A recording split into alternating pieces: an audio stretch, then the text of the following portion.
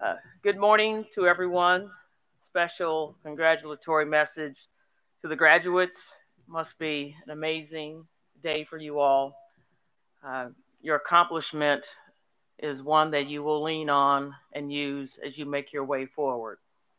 I am here representing our community, Kansas City, and the work that we'd like to get done to put Kansas City in its rightful place as one of the best cities to live in our entire nation. And we're going to continue to work on that.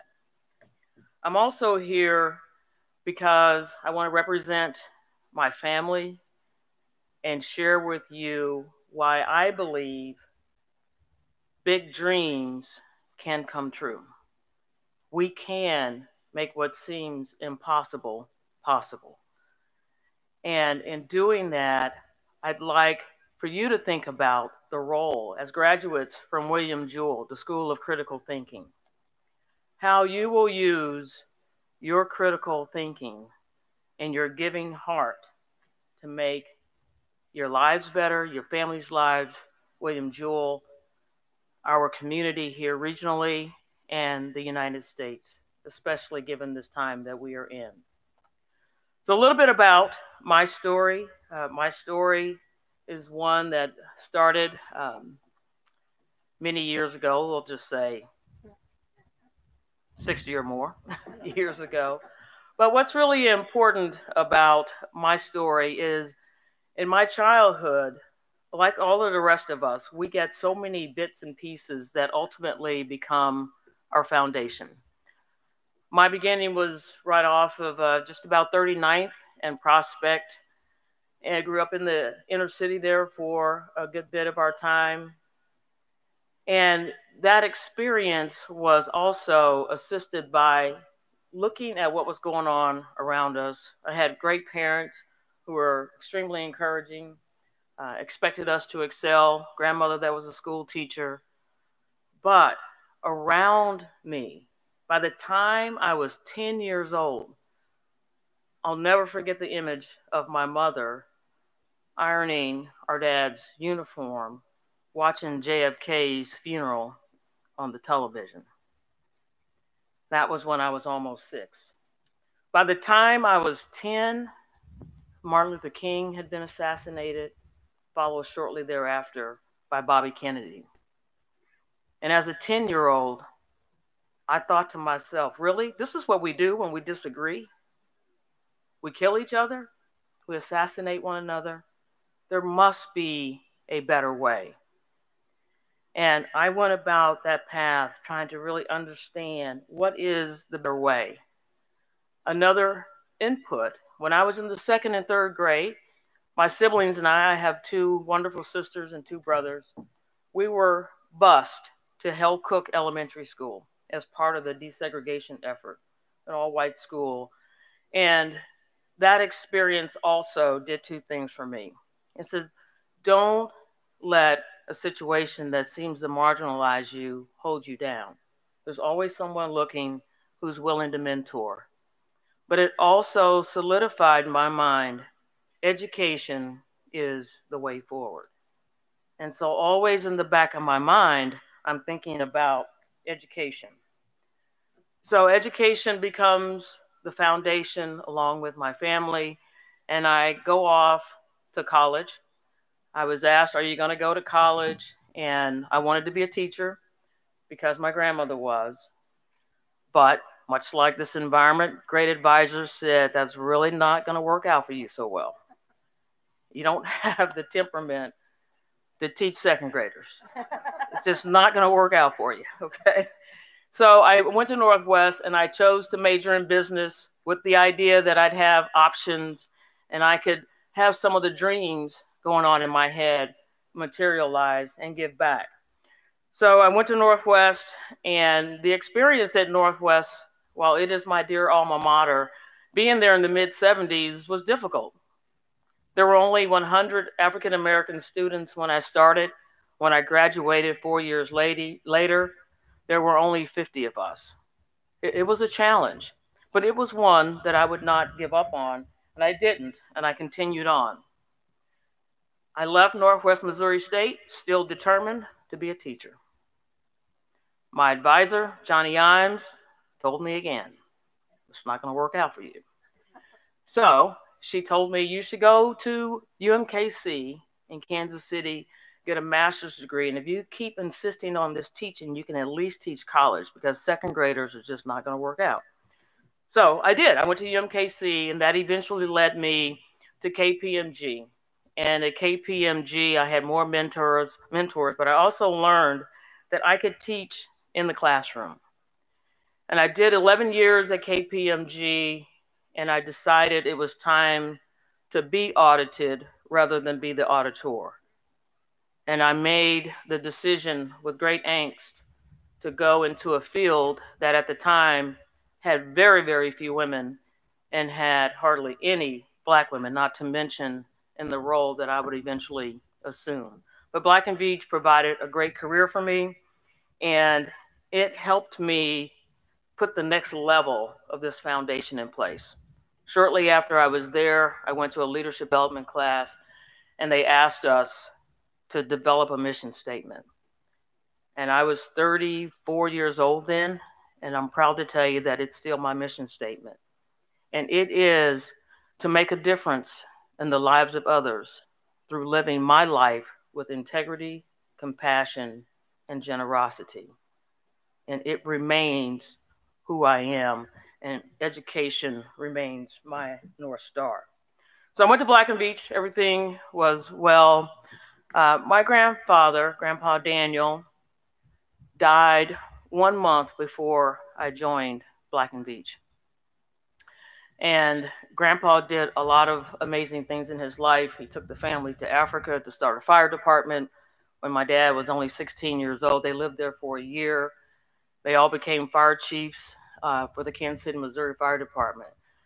But it would be almost two decades after he died that I would discover and take the time to listen to eight hours of audio where my uncle interviewed our grandfather so he could capture history. And in doing so, I learned something that really affected me. I learned about this whole education thing. My great great grandmother was way before us recognizing that education was important. Literacy is important. If you cannot read proficiently at the third grade level, you have an 81% chance of living in poverty, not until you get out of school, not until you have a job, but for the rest of your life.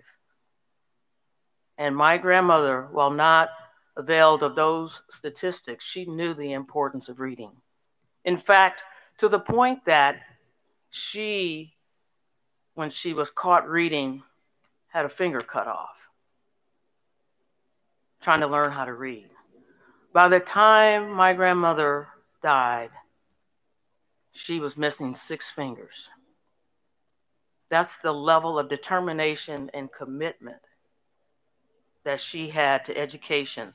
And of course, I'm sure she knew someday her kids, grandkids would know that and would honor that in a way to say education is a big deal and if you put your mind to it, anything is possible. And I cannot tell you how profound that information was to me. First, to hear it in my grandfather's words. Second, to imagine it. And we talk about the price of education today. She paid the ultimate price in many ways as a slave losing her fingers.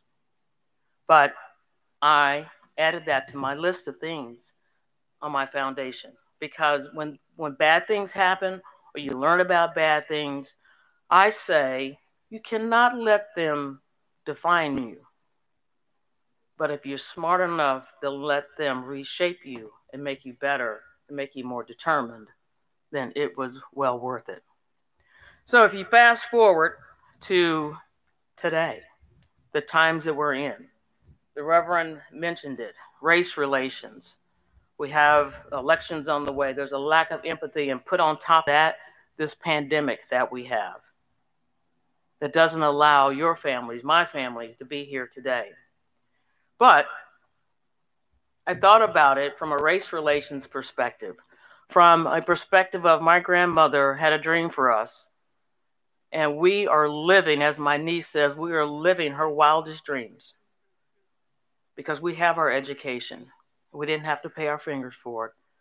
But I know she knows that we are doing this work.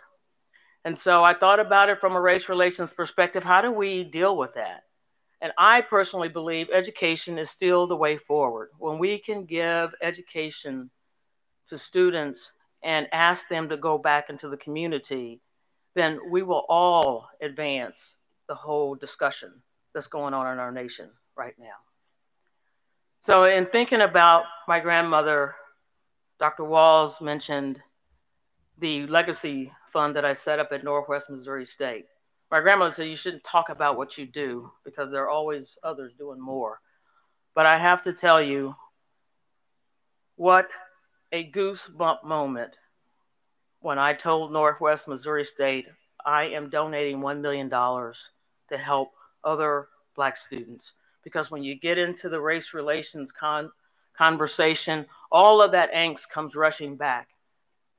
And I felt like I could do this in honoring my grandmother, my broader family, and make other people's dreams come true and help them create their own legacies.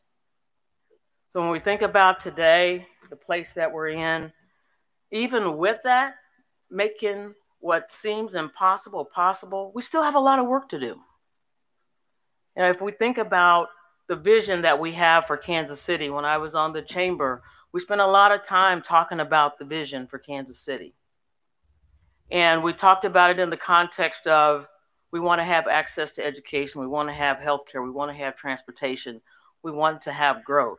But most of all, we want community that works for all. And this is my special plea to the graduates. It's interesting as we sit around and design the future how can we design the future for two generations, three generations behind us and not include them in that conversation?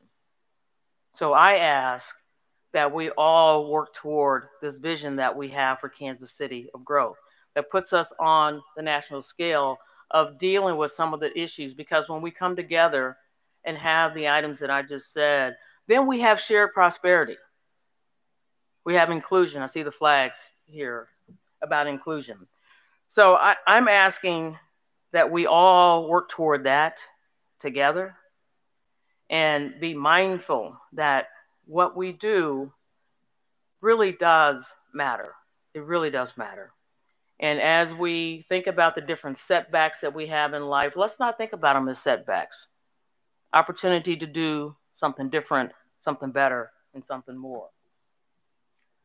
I will tell you that President Obama left a quote here recently, and it says, No matter what you've done, it isn't enough in this time that we're in.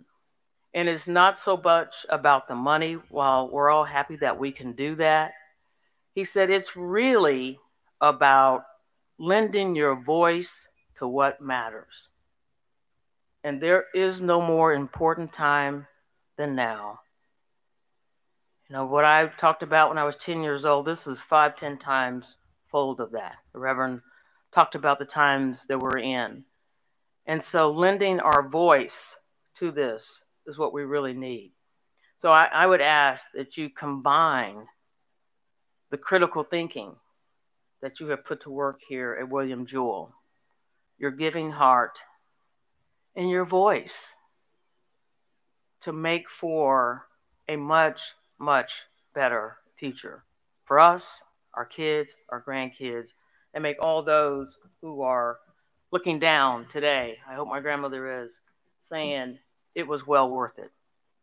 So I ask again that you go out and make what seems impossible possible by giving back to others and giving back to your university and the community.